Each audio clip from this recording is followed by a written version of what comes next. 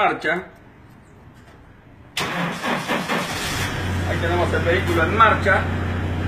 Aquí tenemos el caño de escape. Vemos que el vehículo está emanando perfectamente limpio, sin ningún tipo, se puede prácticamente respirar después del servicio de eficiencia y eficacia que le hemos aplicado en el establecimiento. Lo que vamos a hacer ahora, vamos a acelerar el vehículo unas vueltas para ver qué es lo que ocurre realmente cuando los gases empiezan a liberar. Vamos en este momento a hacerlo.